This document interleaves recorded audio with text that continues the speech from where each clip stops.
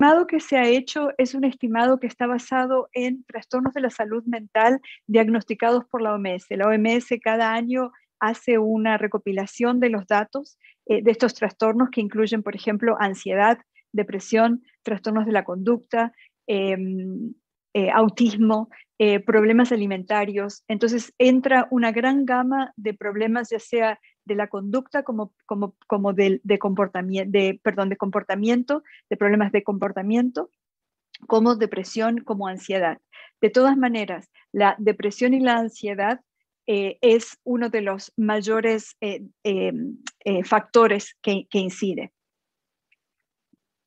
El estimado que se ha hecho es un estimado que está basado en trastornos de la salud mental diagnosticados por la OMS. La OMS cada año hace una recopilación de los datos eh, de estos trastornos que incluyen, por ejemplo, ansiedad, depresión, trastornos de la conducta, em, eh, autismo, eh, problemas alimentarios. Entonces entra una gran gama de problemas, ya sea de la conducta como, como, como de, comportamiento, de, perdón, de comportamiento, de problemas de comportamiento, como depresión, como ansiedad.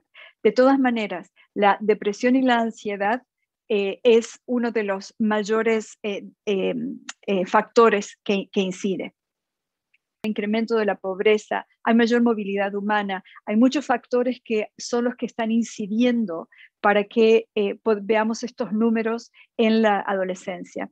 Yo creo que más que poder pensar en lo que había antes y lo que hay ahora, porque creo que es muy difícil, porque no tenemos datos muy, muy sólidos, muy fuertes, de poder marcar en el, en el tiempo cómo ha cambiado esto, sí es importante eh, resaltar que este informe que está presentando eh, hoy eh, UNICEF es un informe que por primera vez pone, el lente en la situación de la salud mental de niños, niñas y adolescentes. Entonces, el, el Estado Mundial de la Infancia es un informe que UNICEF saca cada cada año, no lo hizo el año pasado debido a la pandemia, pero entonces la idea es poder poner en un, en un lente magnificador, poder mirar cuál es esa situación. Entonces es la primera vez que contamos con estos datos. Entonces creo que más que poder pensar cómo era antes, creo que lo importante es poder decir, este es un problema que se está incrementando porque sabemos que la pandemia ha impactado de una manera inesperada la vida de todos nosotros y especialmente la de los eh, adolescentes niños, niñas y adolescentes. Vemos que en la región de América Latina y el Caribe, uno de cada siete niños, niñas, adolescentes sufre de un trastorno mental.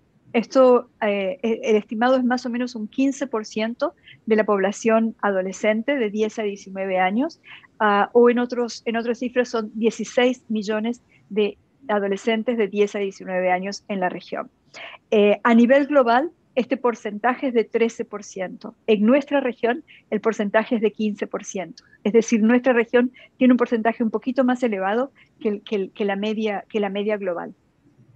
El informe que vamos a, presentar, eh, vamos a ver que la media regional es del 15%, es decir, que un 15% de adolescentes de 10 a 19 años sufre de un trastorno de salud mental, pero vemos que algunos países, eh, sobre todo países del Caribe, tienen una, una, media un poquito más alta, que está entre 18 y 19%, mientras que otros países tienen una, una, un, promedio bastante, bastante más bajo.